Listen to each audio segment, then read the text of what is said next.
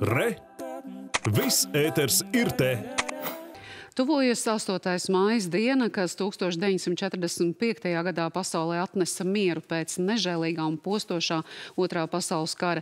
Latvijai tas nozīmēja tikai kara darbības beigšanos, jo kara sekas turpinājās vēl ilgus gadus. Vienošanās par to, kā kara darbība beigsies Latvijas teritorijā, notika Ezeres muitas namā. Pat labam vēsturiskajā ēkā ir novadpētniecības materiālu krātuva un izveidota mūsdienīga ekspozīcija par otrā pasaules kara beigām Kurzemē. 1945. gada 8. maijā šobrīd ar zālīti apaugušais ceļš, kas ved gar ezeras muitas nāmu, tobrīd bija vienīgais, pa kuru nokļūt Lietuvas teritorijā. Dienu iepriekš Vācijas pilsētā Reimsā 2.41. pēc vidus Eiropas laika Trešais reiks bija parakstījis kapitulāciju sabiedroto priekšā. Dažādu valstu teritorijā karojošām pusēm nu bija jāvienojas par kara darbības izbeigšanas kārtību.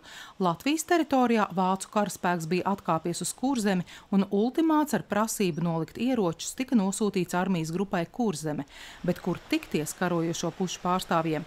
Sarkanās armijas pārstāvji atradās Lietuvā, Mažeiķos, Vācu pie Kuldīgas Pelču muižā. Nebedīs jau sarkanās armijas eh, pārstāvi nelaidīs uz savu um, to štābu Mažeikos, jo vācieši var izdomāt un nepadoties. Apmēram šeit ezerē bija šis pusceļš, šeit satikās un tika vēst šīs sarunas, kur ieskar gūstekņi, kur tiks pārtikas rezerves liktas, kur ņems degvielu, kur katra vienība dosies. Visa šī loģistika tika pārunāta. Dokumentu parakstīja 1945. gada 8. maijā 22.05.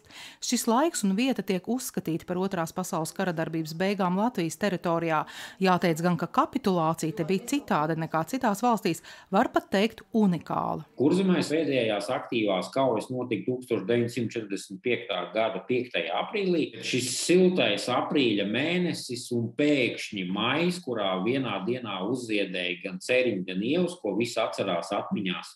Tā tāda unikāla gadījuma starp karavīriem, kaujas laukā uz īsu brīdi varēja veidoties tāda cilvēciska empātija vienam pret otru, jo karš ir nu pat beidzies. Lai vairāk uzzinātu par otrā pasaules kara darbības beigām Kurzemē, Ezeras muitas namā izveidot arī mūsdienīga ekspozīcija, kurā iepazīt gan karojošās puses, gan viņu gaitas karā.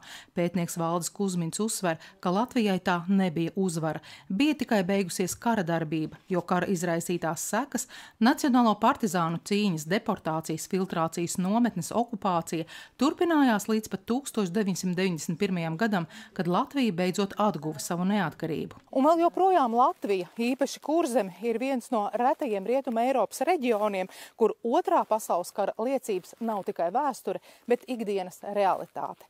Mežos joprojām ir tūkstošiem pienācīgi neabedītu karavīru un dzīvībai bīstamas munīcijas atrašana ir pavisam ierasta lieta. Ieva Benefelda, Lāns Perševits, Skrundas televīzija.